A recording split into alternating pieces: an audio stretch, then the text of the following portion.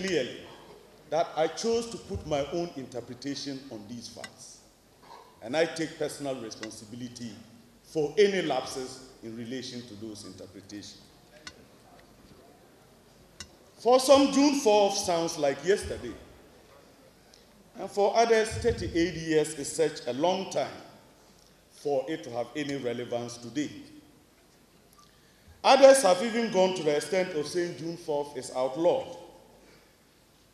Certainly, I will not take away anybody's right to assess June 4th the way he wants to. We have developed a very interesting game of deliberate forgetfulness and deliberate memory. We actually choose to remember things that didn't happen, and we forget those that actually happened.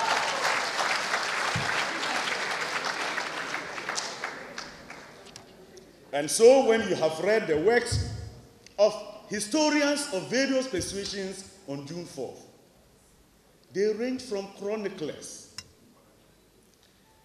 to historians who write timeless histories. In fact, it even includes storytellers. But the worst offenders who write about June 4th are the rumor peddlers.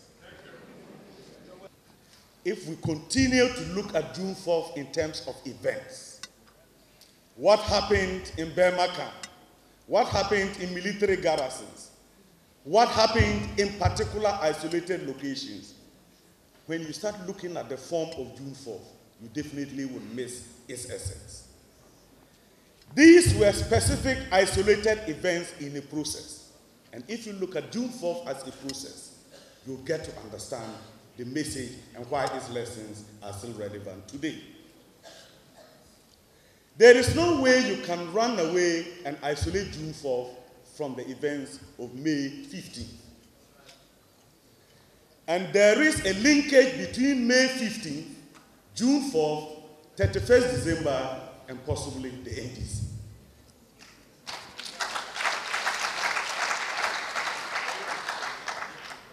One of the first basic lessons that we need to learn about June 4th is about integrity and taking responsibility for our actions. The activities on May 15th, which ended up in the later to be chairman of the AFRC surrender, the trial in the special court was what gave us that seminal statement. And I always like to quote it so that I don't make a mistake. Leave my men alone. They were acting under my instructions. I am responsible.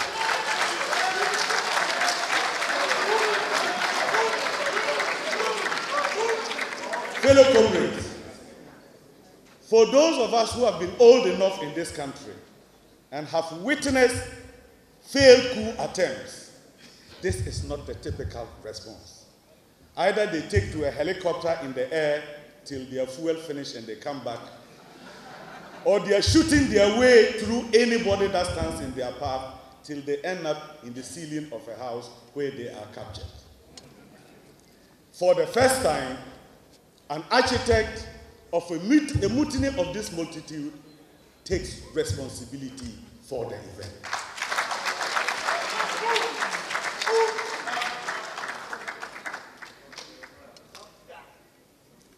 There have been other attempts. I want to clear these debris about June 4th. That yes, they can appreciate June 4th, but to attempt linking June 4th to 31st December, people do, I don't feel comfortable about it. When you listen to the arguments that they raise, June 4th was spontaneous and cut across the entire social strata. June 4th was an event that overthrew an unconstitutional government, while 31st December was an event that overthrew a constitutional government. One of the significant things why we have to look at these political prejudices is to see and recognize that the seeds of June 4th were sown on May 15th. They started germinating on June 4th, started bearing fruits in 31st December, and I always say perhaps the NDC harvested. All I can say and want to ask us in the NDC that as good farmers, have we left some seed for the future to replant in hard times?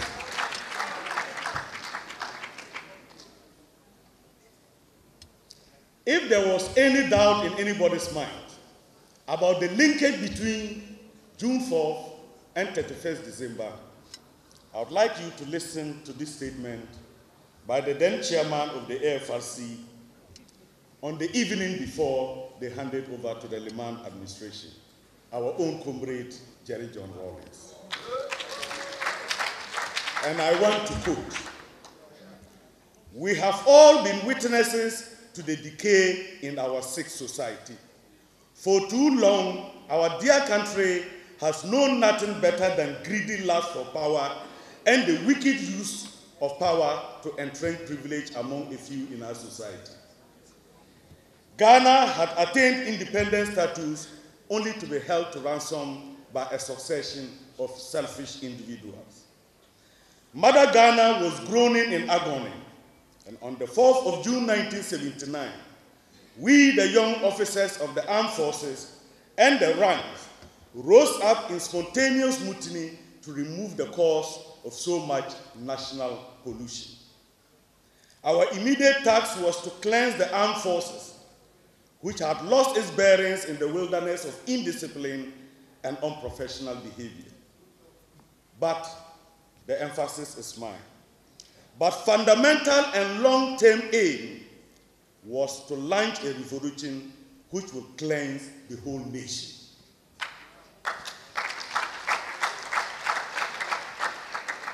and that we should turn the minds of our people against social injustice and ultimately redirect the pattern of our national life. We have done our best in the short space of time to throw a searching light into the dark recesses of corruption and malpractices over the period. No one should mistake the sweeping force of dynamic energy of our revolution of social conscious carelessly. This is the connection that was prefigured the last night before they hand it over. Let me add that in the handing over speech to President Limann, this was what the chairman of the AFRC said. We know you will deliver the goods. That is why we have turned a deaf ear to those who have entreated us to stay on a little longer because our job is not complete we have every confidence that we will not regret our decision to go back to the barracks.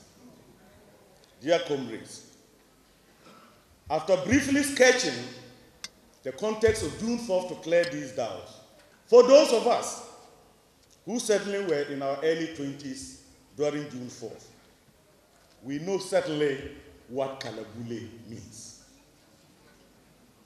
And Kalabule, that others call Kala for short, was not only an informal economic market chain of illegal price manipulation through hoarding and import license deals, but it was also a short word for the highest level of corruption in Ghana.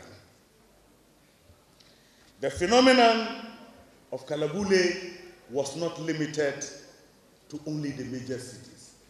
It permeated every village and every hamlet in this country. There was no village, border village, whose roads were not used for smuggling all sorts of items, including the proverbial essential commodities. For those who are young, any student will know that there was something called Esenko. And it was actually the short form for essential commodities. It will interest most people to know what type of commodities were essential. Toothpaste, toilet roll, canned fish, sugar, and the list goes on. At some point in the history of this country, what are taken for granted today we're seen as essential. Kalabule as it defines itself, in terms of the moral decay in our country has a cousin today we call 419. Very much like how everybody could point to the Kalabule man and the Kalabule woman in the village. You go to every community, they can tell you this man is a 419. This context is important. I used to be with a colleague of mine in the UK. And when I went to Frankfurt University to attend a scientific conference on the new fighting conditions of the global left, on my return, he said, Why do you waste your time following this type of madness? That are you not aware the times of revolution is over? He cited Francis Fukuyama, the then White House correspondent, who said history was at an end. And that class struggle and revolutions had all come to an end. And that in a unipolar world, every social phenomena and persuasion must stand in respect to the global liberal society. What is interesting about Fukuyama and my Arab friend was that he went back and became a very powerful person in his country. That's why I don't want to mention his name. We continued exchanging emails. Few years later, sent me an email and says, Ben, something is happening. The whole Arab world is likely to be overrun very soon. And that there's so much trouble. So I asked him the question, perhaps, is there a revolution? He says, I'm talking about trouble, and you're talking about revolution. well, I had a very interesting statement for him, and thanks to Jerry John Rawlings. By that time, the Arab Spring has started. I have made reference to the Arab Spring because I will come back to it in relation to another misconception of June 4th, that these type of political convulsions can only take place within a military situation. And that the future in which we are moving shows that we should expect to get more of these upheavals, this time not from the military barracks. But let's look at our society as we see it today. When I was a minister of health, it didn't take me long. I realized that the funeral industry was growing bigger than the health industry. And that is why it is so easy to see the speed with which people are prepared to give the dead so called befitting burial. But none of them is prepared to have given them a befitting life when they were alive. This is one of the social paradox of our times, where your funeral industry is growing faster than your health industry. Another footnote on the educational system, which I term a modern social decay, and that is what has come to be known as the protocol system. Hardly can any deserving student today get into a tertiary institution without going to see a politician, a big man, or some influence peddler. So, what do you expect? Your protocol student, when he enters university, definitely wants protocol questions to write the exam. Once he gets the protocol questions, he's eventually going to come out with a protocol first class. He's likely to be given a protocol scholarship to go outside the country to study. Indeed, if he finishes and remains there, the country is lying. If he chooses to come back, he will get a very high protocol office. This student doesn't know anything apart from protocol. So what does he do? He settles down to reproduce his protocol kind. This becomes a spiral and will never stop. And the time will come that we will not know whether people earn the positions that they occupy. And I think we have to take a closer look at this.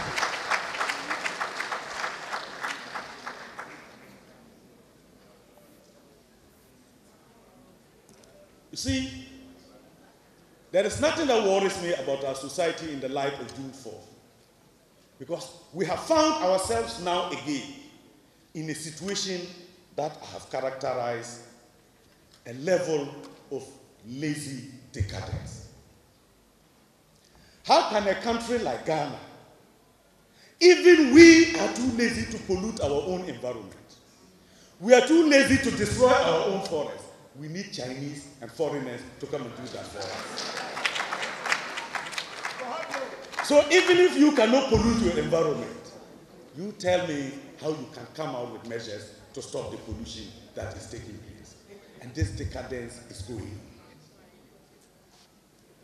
Let me move into the political matrix that for me is very, very significant. There have been a number of political developments that my sister that talked about indicated.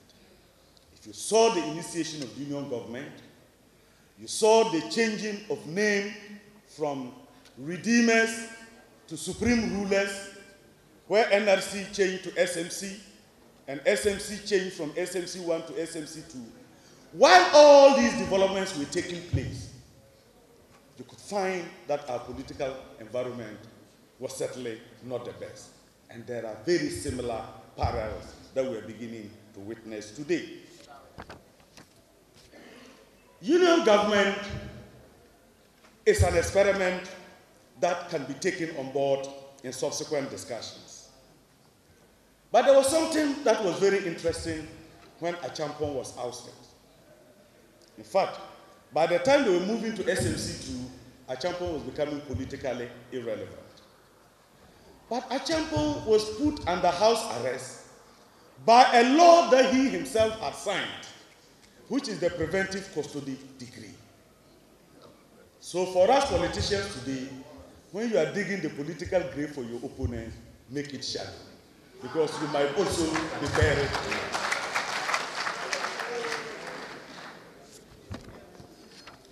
Thirty-eight years down the line, we have a fourth republic, and we have a seventh parliament. We have experienced seven successful elections, with power moving from three, moving three times to different political parties. And we all know how this has come about as a result of the seeds that were sown during June 4th. But how do you see the translation of these lessons into our constitutional rule?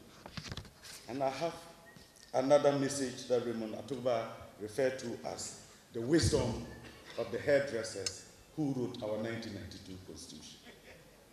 In the preamble, it says that we, the people, solemnly declare and affirm our commitment to freedom, justice, probity, and accountability. Well, let me tell you what Professor Upendra Baxi said about we the people in the Constitution. He said, Some of we the people have bread and freedom.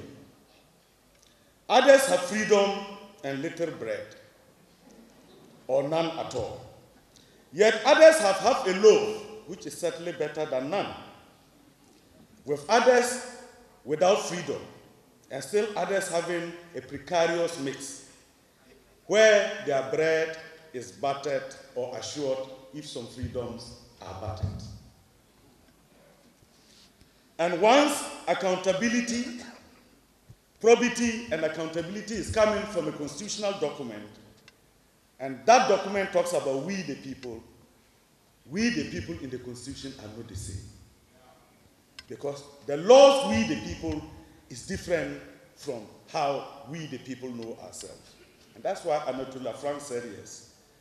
That the law in its majestic uh, impartiality forbids both the poor and the rich from stealing bread or sleeping under bridges.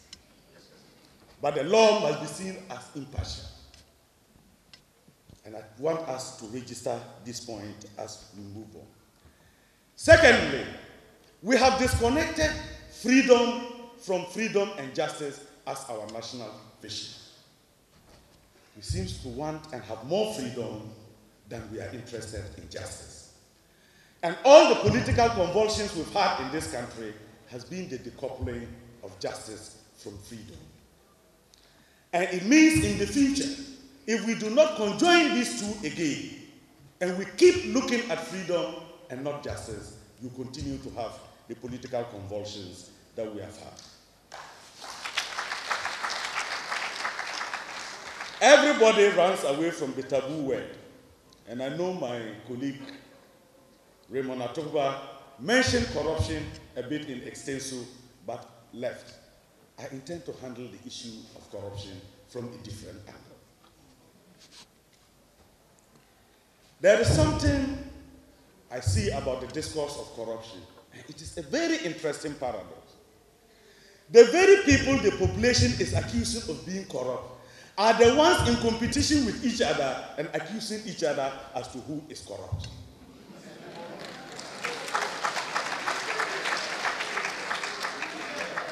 so the political class, when you sit on radio and you say this person is corrupt, the person goes the next day and becomes corrupt. Corruption now becomes like musical chairs. The one yesterday who was being accused of corruption today is the one accusing others of corruption. So we have politicized corruption to such an, a level that we are missing what is dangerous about corruption. And I want us to see how corruption has a potential to transform itself into the social, political, and economic spheres. Corrupt money is not money uh, backed by production. It's free money or possibly lazy money. So it can be used for many things. But because it is also that type of money, it has to protect itself. So the proceeds and bearers of corruption use those proceeds to acquire social power. That's when you start having your men of straw and the men of substance. I can assure you that such money, when it acquires social power, they will pay your brother and your relative to betray you or even kill you. That is the first spiral of corruption. When social power is acquired, it is transformed into political power. Because who are the ones in today's monocracy who can always win political power? So you transform your social power into political power, and it spirals up again into economic power because you use the political power to acquire more or reinforce the kitty. The danger about this spiral is that it becomes difficult to be tracked. And the difficulty about it is that it actually destroys our entire society. And that is why those who have served this country, selflessly and with integrity, most of them have died as paupers.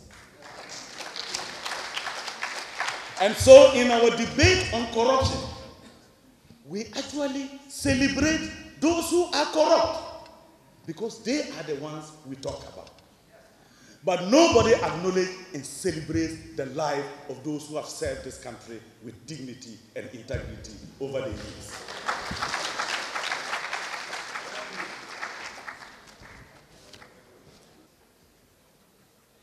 Let me use this opportunity to register a number of footnotes that we need to look at in relation to the economy.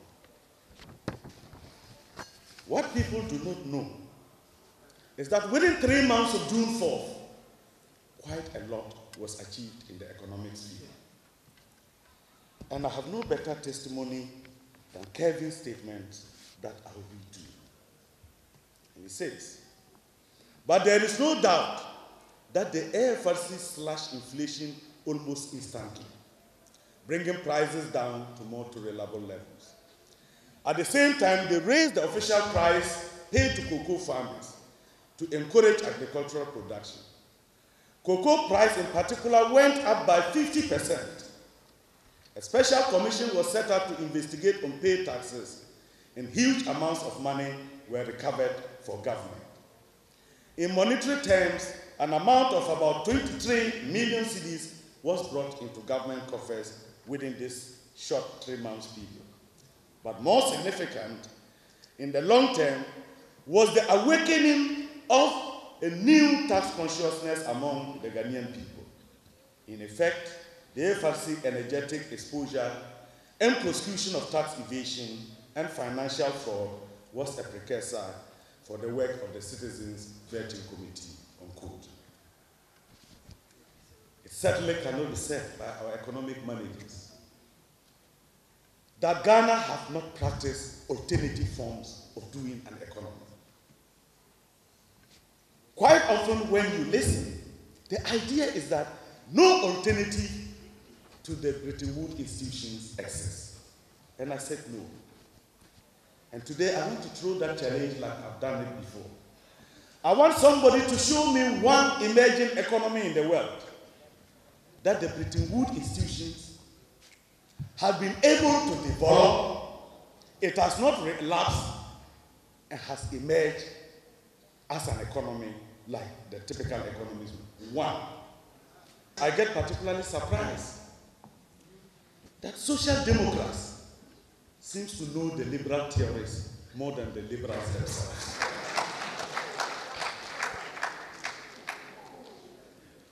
and what do you hear?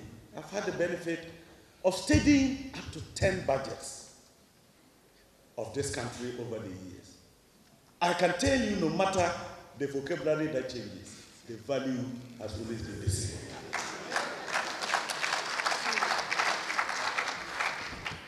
And listen to our economic managers. We need some economic headwinds. They use the aviation metaphor, forgetting of the tailwind in their aviation. We need to get low hanging fruits that are quick picks. Let's get our economic fundamentals right. We don't know what those fundamentals are because they keep changing. And it is about micro and macro stability and deficits of all kinds. After all this, people still go home and sleep hungry. As a nation, are we not tired? So alternatives that were not allowed to be experimented, they say they have failed. And yet, economic policies that brought a lot of hardship to people, when they have failed, they say no, they were caused by some distortions in the fundamentals. And all that still doesn't bring food to anybody's table. I would like to make some concluding remarks, just because most of the speakers have taken a number of the issues. Initially, I attempted to draw a linkage between May 15, June 4th, December 31st, and the National Democratic Congress. But in my concluding remarks, I want to register the fact that there are many fine June 4th cadres who do not belong to the National Democratic Congress, but belong to other political parties. And I can say on authority that there are NDC members who do not share the vision of 4th. I do not hold it against them. But the relevance to NDC is that I started hearing lone and isolated voices of a new NDC. Do you know the irony about that?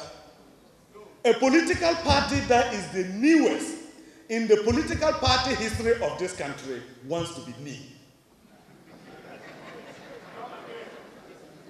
And when I was very active in 1996 97 in the UK, we saw it all with new labor. And one of my comrades, I don't know how prophetic he was, he says, Don't worry. Anything that is new is very attractive. But wait till it gets into the political turbulence. That is when you get to know whether that newness is genuine or is not. In fact, newness can give you a lot of electoral payoffs, but it is heading you towards a precipice of election disaster from which you might never recover. And the reason is simple. Anytime you start talking about new, you jettison the very values that you use to form your political movement. The scientific tools for you to analyze challenges when they come are also abundant. Of course, you end up behaving like a river that is now approaching the sea with fury and rejects its source in the desert. What happens? It dries up. And we have started seeing it in the NDC. We have known cadres in NDC during the revolutionary period who worked without a salary. We have seen cadres that rode motorbicycles and their limousine at that time was a Soviet car that was called. Yeah. Today, you can never get an NDC follower to put posters for just 200 meters without expecting a financial reward. And the reason is simple. If you have time to talk to the foot soldiers, says, ah, we are the ones who come to the sun and be putting up posters, and the others are sitting in air conditioning and they are giving them envelopes. That thing has entered the psyche of our people that you only need to go back to that revolutionary commitment of leaders so that you will have a moral right to ask your followers that they too can put up posters.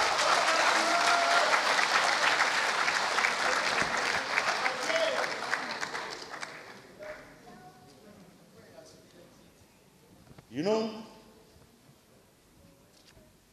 I do not want to be seen as being conservative or dogmatic because I seem to be running away from newness. Uh, like the saying goes, that the university professor is the chief advocate of change, but he's the last one to change his syllabus. that is not where I want to be put. I talked to one of my former senior cadres that I was coming to present a paper on June 4th, and I really wish that he gave me some ideas or come along. He says, Ben, I am a Marxist. I don't want to come and join that your job or type of thing. if you want me to invite you to come and we do scientific Marxist discussion, I'm all for it. So I said, Prof, but how do you already know that some of the people coming to give the lectures are not Marxists? He said, You told me you were going to attend a lecture. You didn't say you were going to give one. But I'm just drawing this point to let the National Democratic Congress know that social democracy, because we are a Congress, has brought in all sorts of characters. So you have the Marxists, you have the liberals, you have all sorts of people in fact, one leading NDC person in 1992 referred to it as a political jamboree. And that we shouldn't carry our democracy to that place. It's a jamboree hereby adopted. Let us go ahead. Had the opportunity in a training program of new MPs to tell them, have you looked at the Scandinavian variant? Have you looked at the new Labour variant in America? Have you seen how the Scandinavians were able successfully to win elections and suddenly went down. Have you seen where New Labour ended? And what are the lessons for the social democratic Ghana?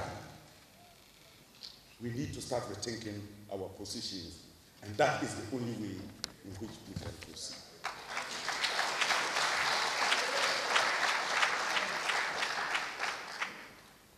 We are also misinterpreting the sophisticated decay we are going through. Why is that any success that we, cho- which goes towards development, we have partners?